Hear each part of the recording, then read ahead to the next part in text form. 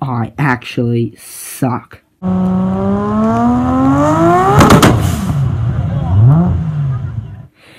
G'day lads, it's the Lonely Chicken here, and today I'm going to be going through a monthly update that is very late because I suck and I haven't uploaded a video in a whole month. Yeah, nice, okay.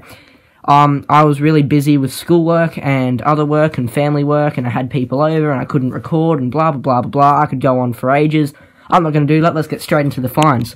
So, 10 pack. I wanted some cars out of there. It was on sale. It was flipping amazing, and I'm going to customize that one, that one, that one, that one, and probably that one or that one, and maybe even that one. I don't know. Let's see. Anyway, Fast and Furious, uh, S2K, Hakosuka. Two of these GTRs. Very beautiful casting that I do not have yet. Love it. Sesto Elemento. Never had that casting, and I found one in a store.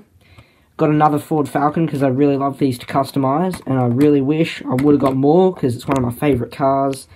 It's Australian, and I just can't get enough of it. BMW M4 just because from the Gran Turismo set, some scalper came and flipping scalped all of those skylines, but you know.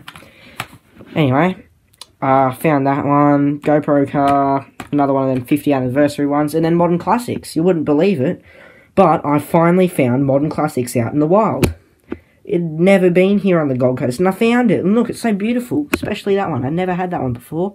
Beautiful, beautiful, beautiful, beautiful. Whole set. Love it. That was the first car culture set I ever thought to myself, I'm going to get the full set. And I finally have it. Anyway, customs. Let's see what we got here. Okay, so, not much happened, as I already said. But that S2K there, I chopped off the doors, because I'm an idiot, but I also think that's going to add a great level of detail that S2000 there, I added mirrors, and I'm also going to add steering when I can choose what wheels to put on. And one of the mirrors just came off. Anyway, there's one of them. Looks beautiful. Uh, that other mirror is really dodgy anyway. That 180SX chopped out the lights. It's going to be a pig nose with opening flip-up lights, hopefully. And then this GTR, I added the engine bay. I'm not sure if I already done that in the last one. But this is my first engine in 164 scale. RB 3.4 is what he calls it. And that is going to slot right in there. Not that down, far down, but you get the point. It's going to look beautiful.